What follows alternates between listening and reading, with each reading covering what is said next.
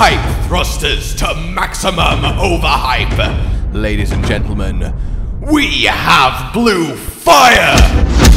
I, I, Lunastra. Lunastra's the one doing it. It's finally happening. We knew we were going to get Lunastra and presumably Orochi Kirin later down the line, but for now, Lunastra is here, and she, the Empress of Flame, looks incredible. Able to do not a turf war, but a combo Dance of Death with Teostra, a double Nova that quite literally superheats the area, melting your health.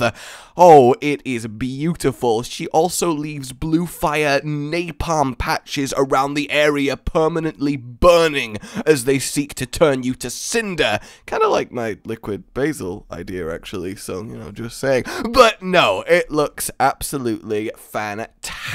They have really given her a distinction that she never really had from before, because she was kind of just, hey, it's blue Teostra, but now she has this real elegance and beauty about her. These blue fire attacks look magnificent. She still definitely has Teostra vibes, some similar attacks, but she seems to have her own little heartbeat, her own tempo, and oh my word, I am excited as well as fashionably late on this update.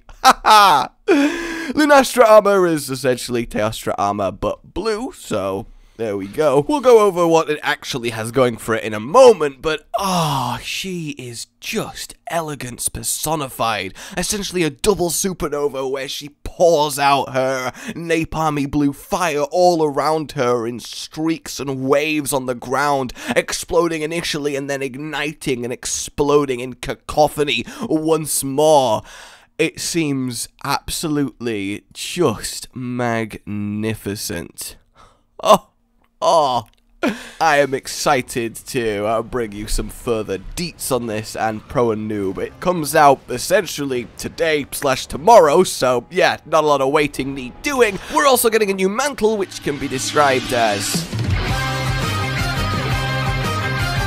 essentially the Ultra Instinct Mantle. It automatically dodges attacks, and given that Lunastra Gear reduces mantle cooldowns, yeah, there's some potential for some evasive fun going on here. Nargacuga would be proud. The armor then visually is quite the treat, but stat-wise...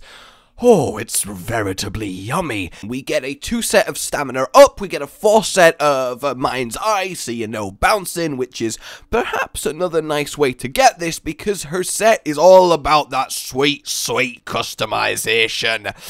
Oh, it's tasty. The skills that it comes with, at least on the Alpha, Wide Range 4, Health Boost 3, Blast 3, Tool Specialist 3, so lowering those mantles, Peak Performance 2 and Evade Distance 2, and there are 3 slots and level 1 slots on the pieces that just Oh god, imagine the beta. My word, there's gonna be more slots in this thing than a casino. I am looking forward to giving it a spin. Lunastra weapons then are also a beast of their own. She has one new weapon for each type. They're not unique models, which is kinda sad, though her armor itself does look quite pretty. I mean, it's obviously just a variation on Teostra, but I do quite like it. But the weapons themselves, you can have one version for each, and they look pretty good. You got white sharpness, you got good affinity, the raw seems decent, slottage good, but the real catch is there are variations. There is Lunastra with Nergigante variation, and there is Lunastra with Xeno'jiiva variation to give you three weapon options. Each one accentuates different things. Nergigante gives you higher raw, for example.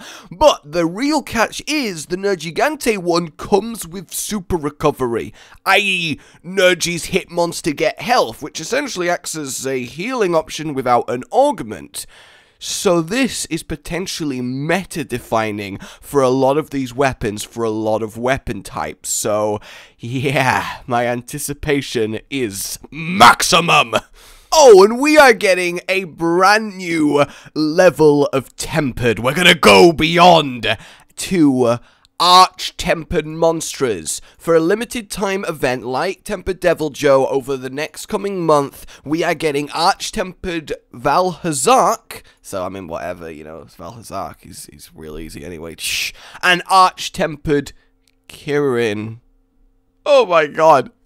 And the thing is, these are essentially tempered, tempered monsters. That's the best way to think about them. Ridiculously powerful, fast, aggressive, and altogether a true endgame of endgame challenge for those of you that are like, Psh, everything's just so easy. I can only imagine how brutal these guys are. I mean, specifically, sorry, Val, but like specifically, Arch Tempered Kirin. And they come with Gamma armor sets, a beautiful metallic sheen to them, unique, looks like the original monster armor, but it's got that extra, mmm, to it. So that's going to be incredibly exciting to see how those end up playing out. And the thing is, though, Arch Tempered Kirin? Did we need a harder than Tempered Kirin Kirin? What does he do? One shot your fucking family tree! In fact, no, I actually do have some exclusive footage of Arch Tempered Kirin's lightning bolt. yeah, so that's gonna be it's gonna be a right little uh, little bundle of joy, isn't it? You can now get tempered investigations from breaking parts, which is about damn time. You can change your armor pigment at various item boxes. There's lots of little quality of lives being added to the game as well with the update like we get, so that's all gorgeous. But yeah, I I am sorry, I'm I'm fucking late on late on this, so uh, let me know what you think, guys. I'm super happy. I am so ready for something new and challenging in the game, and you can be sure I'll be covering it as much as I dearly can. Like if you've enjoyed this, subscribe for more. My name has been Josh. Pretend you heard it here first, and I'll see you very soon. A goodbye. Rage gaming with the video float. But that's all that's really relevant at the mo, but I'm still gonna leave this up so you patrons know that I love you even though the outro's no longer that kinda relevant. But the new one's being worked on and it's gonna be a truly badass song, and don't worry, I won't be doing any rapping on it. I'm gonna go now. this was shit.